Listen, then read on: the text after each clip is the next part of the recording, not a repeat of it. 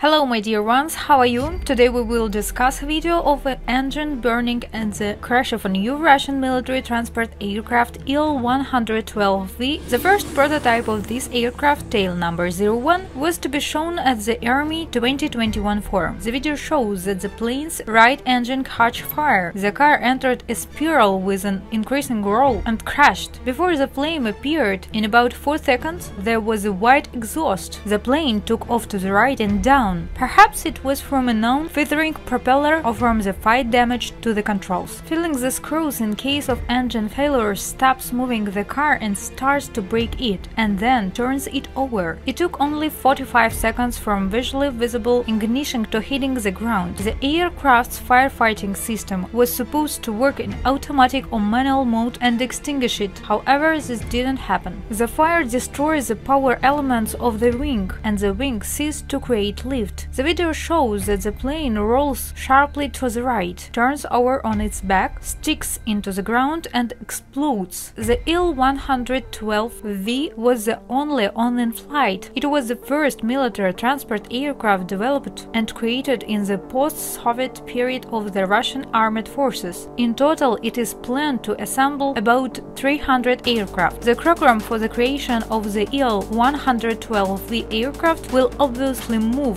but it was not been terminated. The needs for aircraft of the class in Russia are very high. At present, the second prototype of the Il-112V is undergoing static tests at the stand, and the third and fourth prototypes will be connected to flights. They say his tests will continue next summer. Want to discuss? Write comments. See you again.